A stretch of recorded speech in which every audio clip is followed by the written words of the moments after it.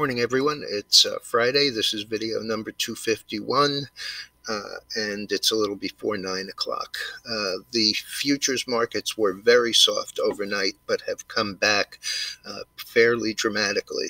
Uh, they dipped on the continuing China tensions and the fact that Beijing scrapped their GDP target.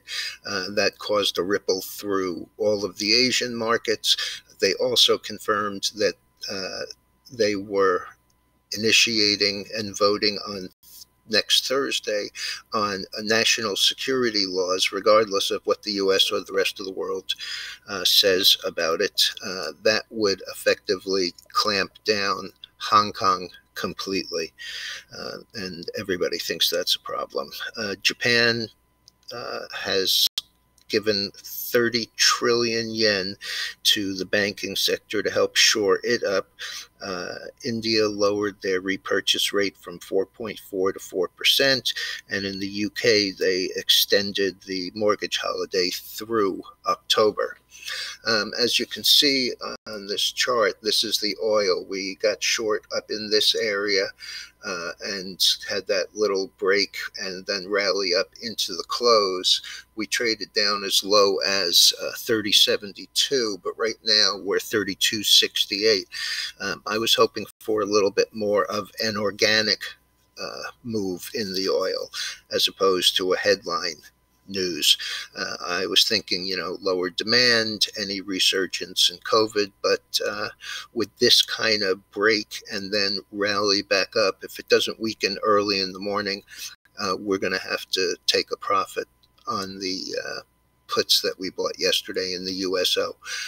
Uh, gold was uh, down to 1715 last night uh, it came back with a slightly higher low and turned up. It's now up $17. Uh, the bonds are up about a half a point, and Bitcoin, which was down pretty hard yesterday, is up uh, 120. Alibaba had earnings. They beat. Uh, they were you know, pretty decent, but they issued poor guidance and the stock is down $4. Uh, NVIDIA also had earnings yesterday. It's up $6. Deere had earnings this morning and beat on both top and bottom lines, and the stock is up five. Uh, that uh, really helps this market. Uh, Ross Stores is down three. Uh, they had poor numbers naturally. They were closed two of the three months, uh, but they also suspended their dividend and deleted guidance. Uh, HPE Hewlett Packard Enterprises down 68 cents, but that's a low price stock. And on their miss, the stock was down 6.6%.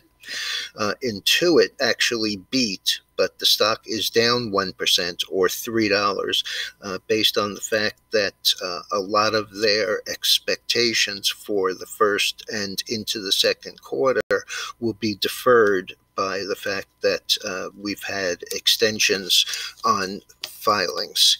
Uh, as I said, the futures were uh, down pretty hard. Right now, they're pretty much unchanged. Uh, the uh, Dow looks like it'll open up or down about $10. NASDAQ down about $20 and the S&P about unchanged. Have a good day, everyone, and be careful out there.